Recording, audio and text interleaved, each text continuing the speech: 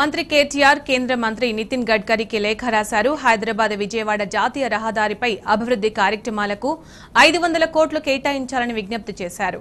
హైదరాబాద్ నగరానికి అత్యంత కీలకమైన విజయవాడ హైదరాబాద్ హైవే నగర పరిధిలో సుమారు ఇరవై ఐదు కిలోమీటర్ల మేర విస్తరించి ఉందని లేఖలో పేర్కొన్నారు. అయితే హైదరాబాద్లో అత్యంత రద్దీ ప్రాంతాల్లో ఉన్న ఈ హైవేకు ప్రత్యేకంగా లెవెల్ జంక్షన్లు సర్వీస్ రోడ్డు వంటి సౌకర్యాలు లేవన్నారు. ఈ నేపథ్యంలో ఈ రోడ్డుని మరింతగా అభివృద్ధి చేసేందుకు రాష్ట్ర పబ్లిక్ వర్క్స్ డిపార్ట్మెంట్ ఐదు వందల కోట్ల రూపాయలతో డీటెయిల్ ప్లానింగ్ రిపోర్టు డిపిఆర్ తయారు చేసిందని మంత్రి కేటీఆర్ తెలిపారు. కోవిడ్ సంక్షోభం సందర్భంగా ఉన్న లాక్డౌన్ సమయంలో పెద్ద ఎత్తున రోడ్డు మౌలిక వసతులకు సంబంధించిన కార్యక్రమాలను పూర్తి చేశామన్నారు. రాష్ట్ర ప్రభుత్వం చేపట్టిన మౌలిక వసతుల కార్యక్రమాలకు ప్రోత్సాహం ఇచ్చే విధంగా హైదరాబాద్ విజయవాడ జాతీయ రహదారికి ఐదు వందల కోట్లు అదనపు నిధులు కేటాయించాలని కేటీఆర్ కోరారు.